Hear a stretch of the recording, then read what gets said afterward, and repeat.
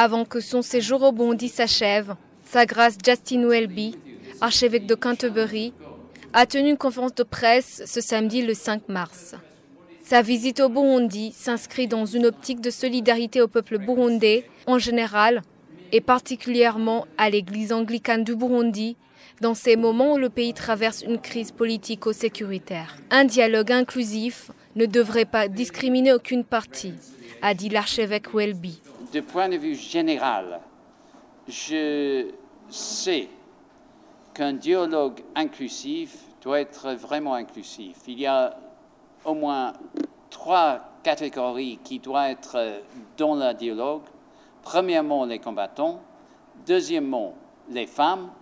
Et troisièmement, la jeunesse. Par l'exemple de l'Irlande du Nord, le gouvernement burundais pourrait se sacrifier pour qu'il trouve les solutions aux problèmes burundais, a conseillé M. Justin Welby. Du point de vue de, des problèmes des gens qui sont le sujet des, des processus euh, juridiques, je ne peux pas intervenir, mais je sais bien qu'en Irlande du Nord, nous avons dû inclure tout ce qui est possible. Et il faut des sacrifices pour avoir la réconciliation. Théologiquement, on sait bien que la ré réconciliation coûte beaucoup en sacrifices. Sa visite réitère donc son engagement à soutenir toute initiative de nature à mettre le pays sur les rails de la paix et du développement en explorant la voie qui permettrait l'unification des fils et filles du Burundi.